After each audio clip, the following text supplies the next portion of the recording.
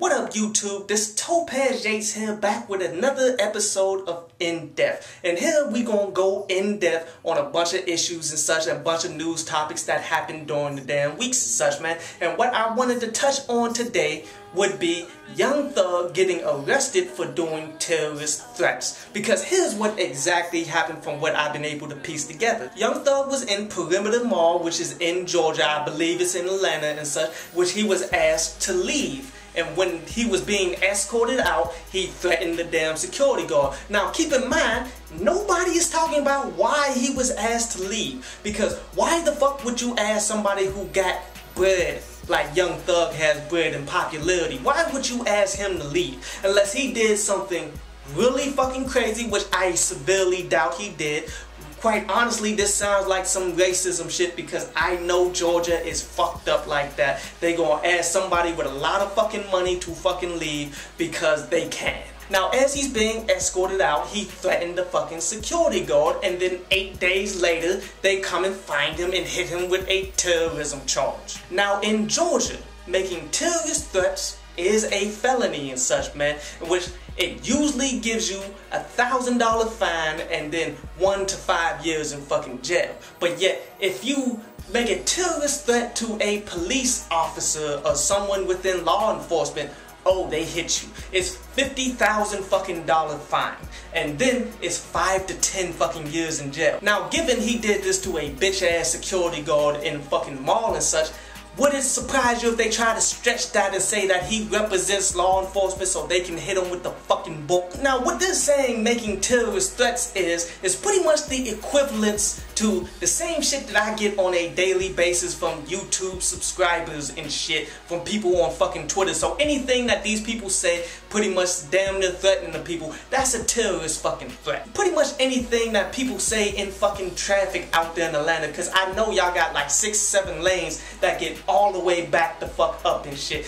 And people be frustrated as hell about that. So anything that people would say in that situation to somebody else because it's always on some anger shit, that's considered as terrorist threats as well. But what kills me, man, is you take this guy, Dylann Roof, who made a terrorist fucking threat, stood up and said, I'm here to kill fucking black people.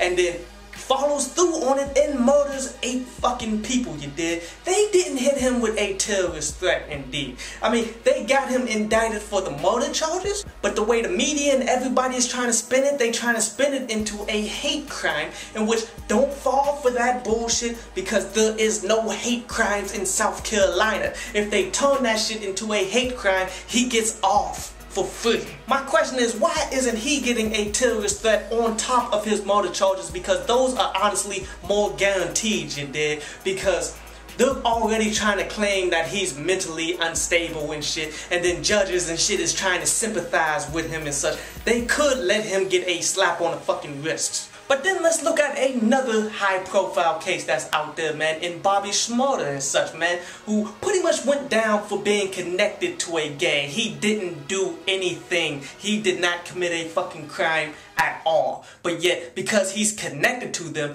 conspiracy, they dragging him and everybody down with him. Now, how is that relevant to Dylann Roof? pretty much Dylann Roof in his manifesto, he pretty much announced the people that inspired him to do what he did and such he did. But yet and still the media still drag it off as this is a lone gunman doing something on his fucking own. No one did nothing to help him do this shit. But yet somehow he got a gun through a clerical fucking error.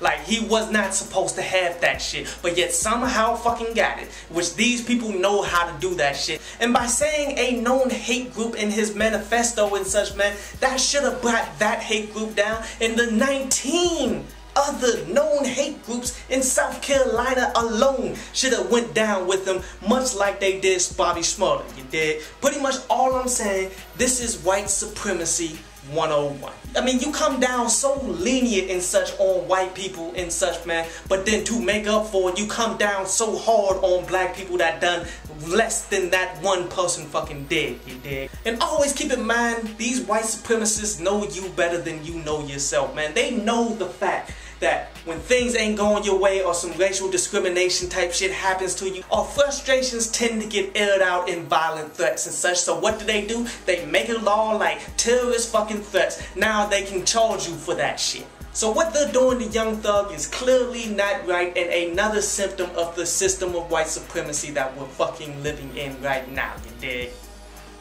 I hope you enjoyed the show. You can follow me at Twitter up there.